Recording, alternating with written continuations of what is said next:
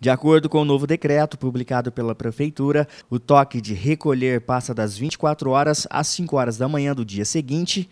O decreto entra em vigor nesta quarta-feira, 21 de julho, até o dia 4 de agosto. O novo decreto segue as normas da onda amarela do programa Minas Consciente. Desde fevereiro, que a microrregião de saúde de Guaxupé não progredia para a onda amarela.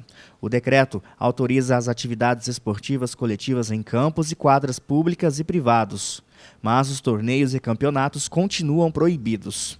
Os bares poderão voltar a ter música ao vivo e mecânica até às 24 horas. Os clientes deverão ter a temperatura aferida na entrada e manter distanciamento na fila de entrada e dentro do local.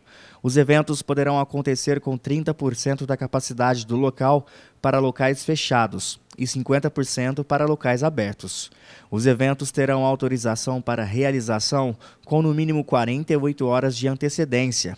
Ainda continua proibido o consumo de bebidas alcoólicas em praças e nas vias públicas.